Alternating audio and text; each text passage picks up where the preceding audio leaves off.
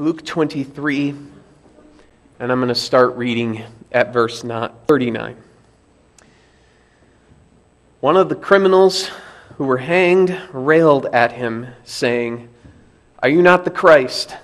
Save yourself and us.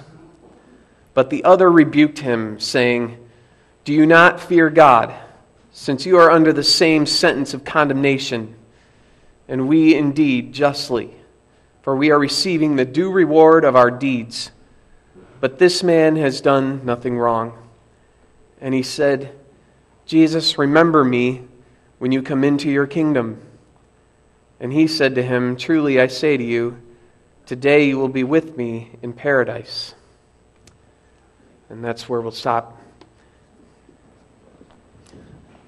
I really love this passage because it shows shows God's great mercy and grace to somebody who is truly a very terrible sinner. We're going to look at the text, we're going to talk about some truth, and we're going to talk about some application for us. So, first of all, the text in verse 39 there, it says, when what we read, one of the criminals who were hanged railed at him. That first criminal literally blasphemes Jesus. That's the word that is actually in Greek. Blasphemeo is the way it is. He goes even farther than everybody, everybody else. Everybody else was ridiculing him, but this guy, he goes farther. He even blasphemes Jesus. That basically means that you mock God, you deny his power. And that's what was going on here he blasphemes Jesus. So he's kind of at the lowest of the low. And then in verse 40, there's that second criminal there, and he can't believe the arrogance of that first guy. He just can't believe what he's hearing. This blasphemy. Don't you fear God? You are under the same sentence as he is. Okay, you have one crucified person, and you have another crucified person, and you, being crucified, think that you are in a place to judge somebody else who is crucified. What? No. You're, you're about to die right now, and still you're not humbling yourself before God. You're still defiant and arrogant. Don't you fear God when you are on your deathbed, even? And he is innocent. We aren't, but he is. Why are, why are you judging him when he's done nothing wrong and we have? Who, who do you think you are? Verse 41 This man has done nothing wrong. This man is innocent and we are not. This is the sixth time in Luke where somebody is declaring Jesus innocent. The sixth time. Luke wants to really drive it home that Jesus has done nothing wrong.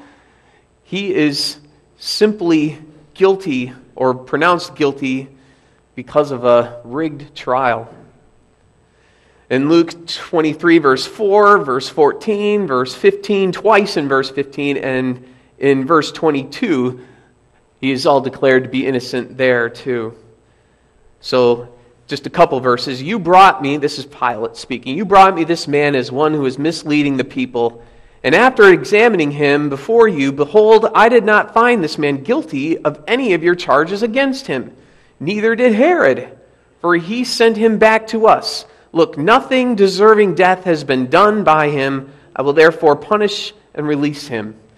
That wasn't good enough. He's not guilty, but crucify him anyways. In verse 42, Jesus' words in response to this second criminal here, or excuse me, rather, this criminal's final words to Jesus Jesus, remember me when you come into your kingdom. I love the humility there.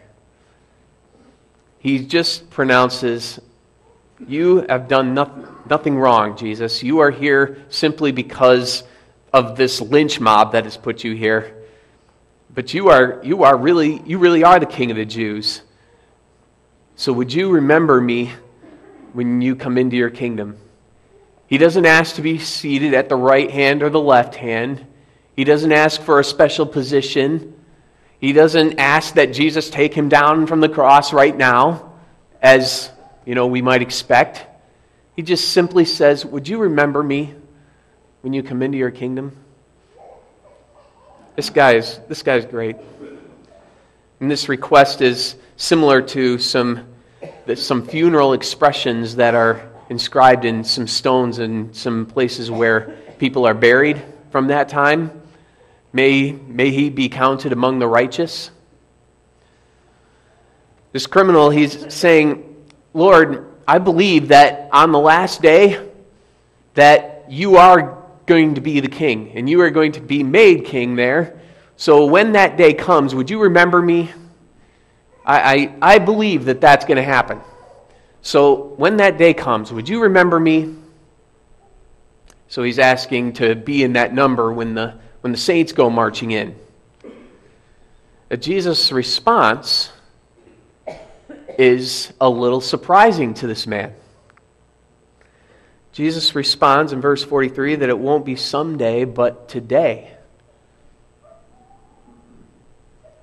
Not later you'll be with me in paradise, or on that day you'll be with me in paradise. No, today. I tell you the truth. Today you will be with me in paradise. Today.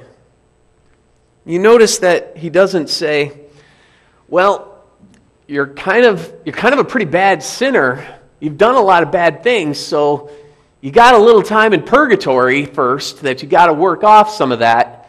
But after that, then you'll be with me in paradise. He doesn't say that. He also doesn't say, you know, we, when you're going to sleep for a while, something called soul sleep. You know, so you're just going to be asleep until the last day, and then you'll be with me in paradise. No. Today, you will be with me in paradise.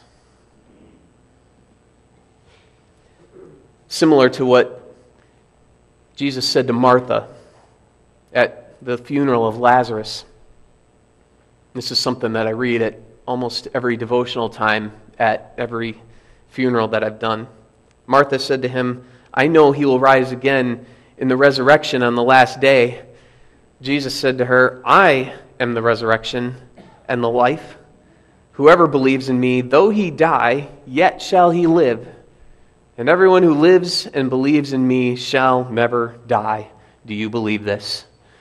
Do you believe it? This second criminal does. He just believes it. So, some truth that we can glean from this passage. In ourselves, just by ourselves, without God's help, we are all like this first criminal. This is, this is us. In Romans 8, verse 7, it says, The mind that is set on the flesh is hostile to God. Not indifferent, but hostile. For it does not submit to God's law. Indeed, it cannot. It's in our nature to be like this first criminal, to assume that God is here to serve us, to do what we want, to take us down from our crosses or whatever problems that we might be going through. It's in our nature to mock God's power when it doesn't do what we want it to do. When we can't manipulate God, we will mock him and say, well, maybe you're not that strong after all. And it's in our nature to reject Christ when his way means suffering. Especially in suffering, we have two responses to that usually, we as human beings. And one of them is the way of this first criminal. God, if you were really there, if you were really powerful, and if you were really good, then you would do what I want. Then you would give me relief from my problems or relief from my suffering, and it would be fine with me. And if you don't do that, then you must not be God. You must not be there. when, when we're suffering and our anxiety is that high, we tend to, we tend to lash out. Unless the Spirit has been working in us and we have the humility to recognize what is really going on. Like that second criminal. We deserve to die. We're getting what our deeds deserve. But Jesus, He's done nothing wrong, and He's suffering more than any of us. It says in the Bible that we all, like sheep, have gone astray. In Isaiah 53, verse 6, all we, like sheep, have gone astray. We have turned everyone to his own way, and the Lord has laid on him the iniquity of us all. He's done nothing wrong, but we have. It's our fault that he's on the cross. So, by ourselves, without the Spirit's help, we are like this first criminal. And this change of heart in the second criminal is nothing short of miraculous, really. This was an amazing thing that happened here. It says in the Bible that salvation is not a helping hand, it's a resurrection. We were dead in our sins, and God made us alive with Christ. It says in Ephesians 2. So, in the case of this guy, and in the life of Jesus, people saw Jesus heal the sick, and they didn't believe.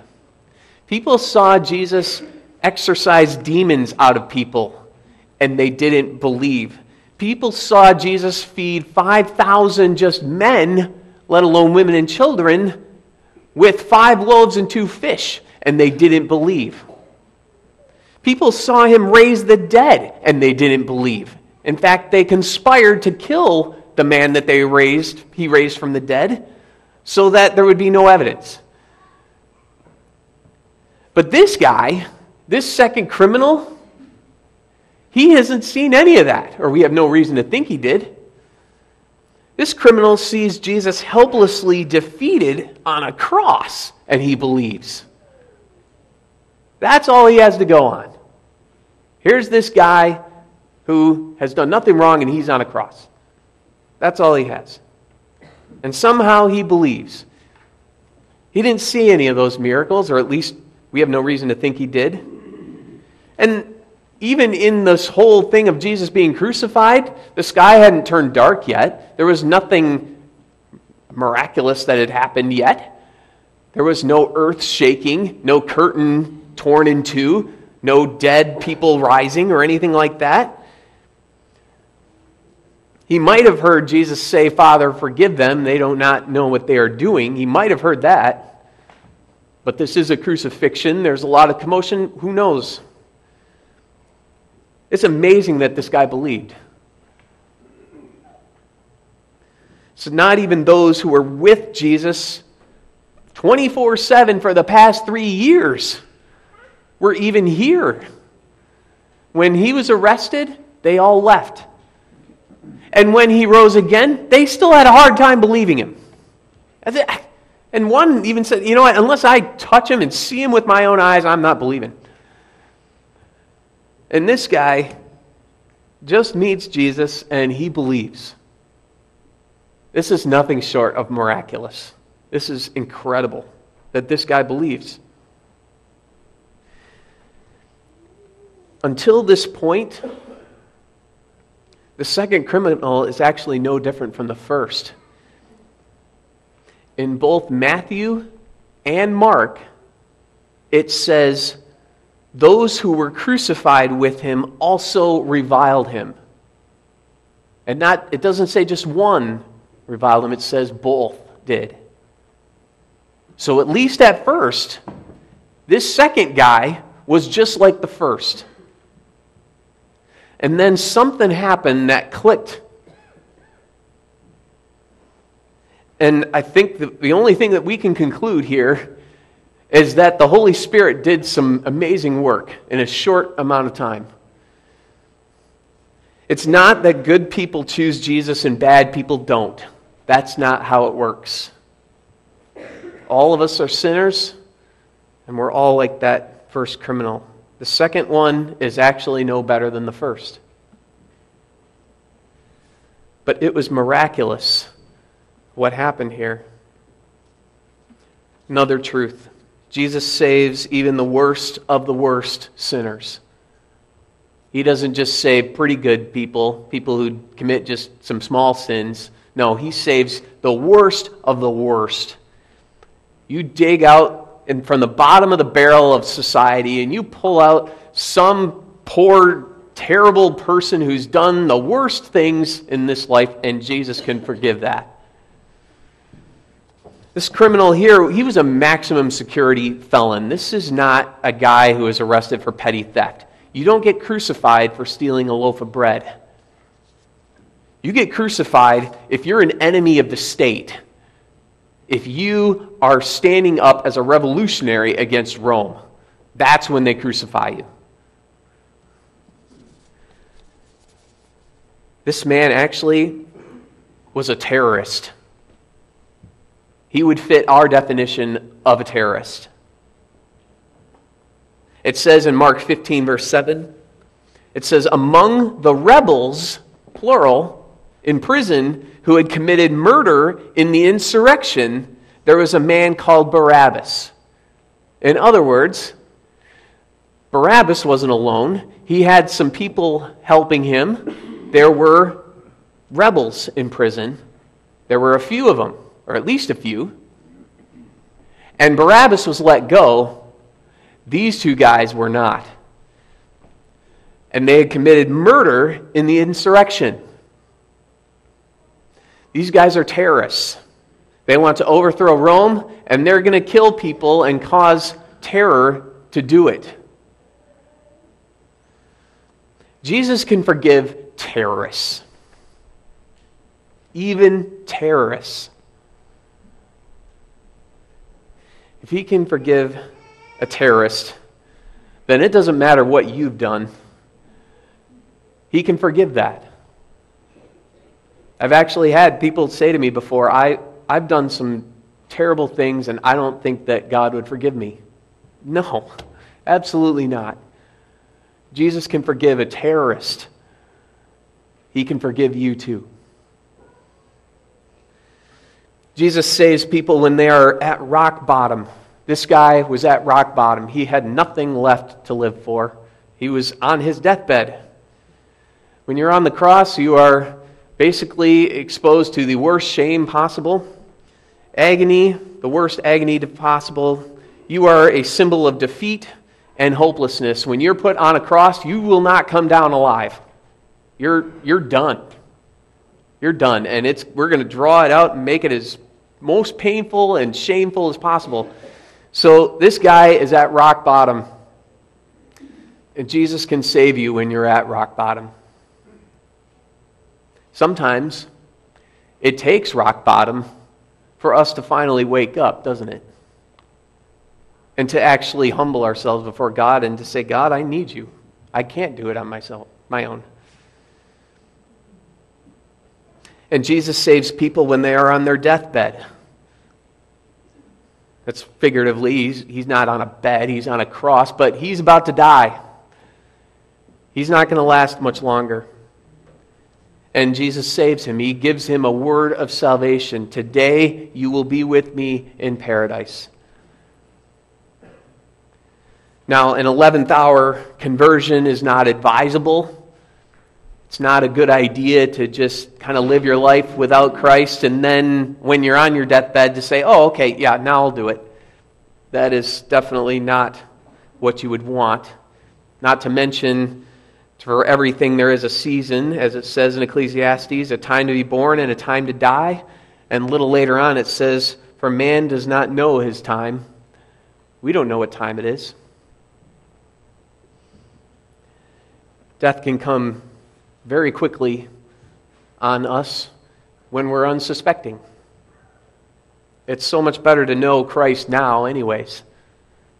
To have the joy and the hope and the peace that comes from knowing Him and having Him, and to belong body and soul and life and death to Jesus Christ right now, you get joy and hope and peace from that that you can't get anywhere else. But people can be saved on their deathbed. You can. This guy is one example. And Jesus saves by faith alone. This is a typical Protestant sort of a thing, but Jesus saves just on faith alone. This guy has, was a, he was a bad guy. He was a terrorist. He hadn't done anything good. He had no chance to do good works afterwards either. He's about to die. He, he could do nothing to save himself except believe, and that was enough. That was enough. By faith alone. Now, we do talk about how it's not faith only. We can't just say, I believe, and then do whatever we want. That's not how it works. If you believe, then you will change your life. If you actually love God, you're not going to do the things that hurt Him. That makes sense. But it's not good works or sacraments that save us. This guy had none of those things. He was saved on faith alone. That's it. Look at the screen here and let's answer this together. How are you right with God? Only by true faith in Jesus Christ, even though my conscience accuses me of having grievously sinned against all God's commandments and of never having kept any of them. And even though I am still inclined toward all evil, nevertheless, without my deserving it at all, out of sheer grace, God grants and credits to me the perfect satisfaction, righteousness, and holiness of Christ as if I had never sinned nor been a sinner, as if I had been as perfectly obedient as Christ was obedient for me. All I need to do is to accept this gift of God with a believing heart. That's all we have to do. We need to believe. We need to love the Lord. So, some things to take home with you today some application. Jesus saves even the worst of the worst sinners. Your sin is never too great for Jesus to forgive. I want to drive that home because I've actually had people say, My sin is too great for God to forgive. No, that is not true. There's no sin that Christ cannot forgive when you go to Him and ask for forgiveness. The church is not a place for good and righteous and awesome people, it's a place for sinners. I hope that when you came in this door, you didn't come in thinking, I'm a good person, I'm, I'm great, I, I believe the right things, and so I'm, I'm set. And no, if you believe the right things, then you believe that you are a sinner and you are saved by grace alone, through faith alone. That's it. 1 Corinthians 6. I like, I like what this says here because it talks about how the church is made up not of good people who have their lives together, but of sinners who are recovering and saved. It says, Do not be deceived. Neither the sexually immoral, nor idolaters, nor adulterers, nor men who practice homosexuality, nor thieves, nor the greedy, nor drunkards, nor revilers, nor swindlers will inherit the kingdom of God. And such were some of you. That's what some of you were. But you were washed, you were sanctified, you were justified in the name of the Lord Jesus Christ and by the Spirit of God. That's what you used to be. But not anymore. You were washed from that. So if it's blasphemy, if it's terrorism that you're guilty of, you can be forgiven. If he can forgive the people who crucified him, he can forgive you and I. Jesus saves people when they are on their deathbed. So pray for your loved ones to accept Christ till the very end, until their last moments. Don't stop praying for them to accept Christ. Because up until the very end, this guy was just like the first criminal. He was criticizing Christ until that moment at the very end. Salvation is a, is a miracle of God. It doesn't depend on our persuasive arguments.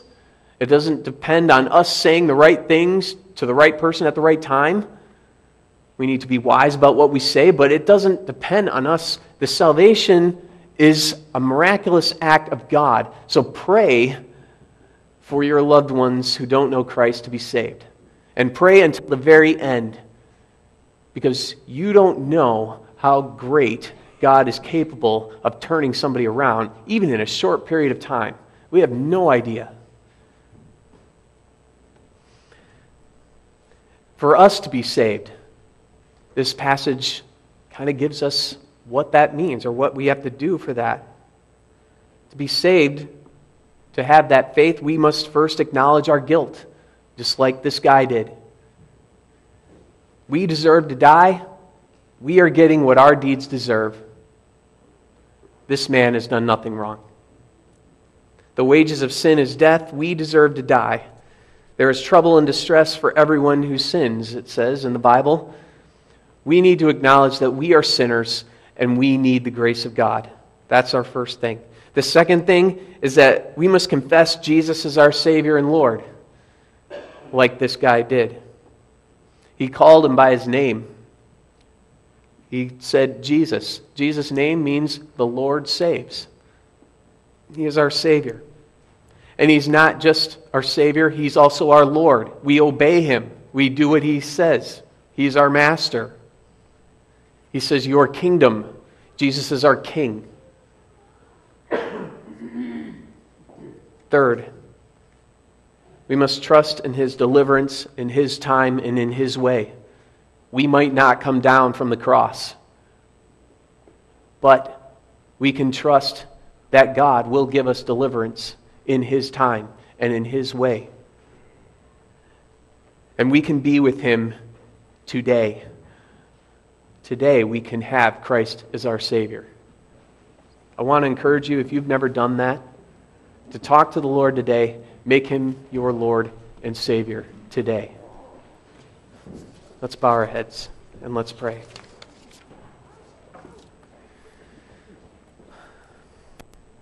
Lord God, our our Father, we're thankful that you sent Jesus Christ to give us this message of salvation, even to a dying terrorist on his deathbed. Oh, Lord, what an amazing thing it was that you turn somebody like that around in a short period of time. The Lord, help us to be inspired by this. We pray that we would pray for those who need you. And Lord, that we would each day repent of our sins and embrace you as our Lord and Savior. In Jesus' name, amen.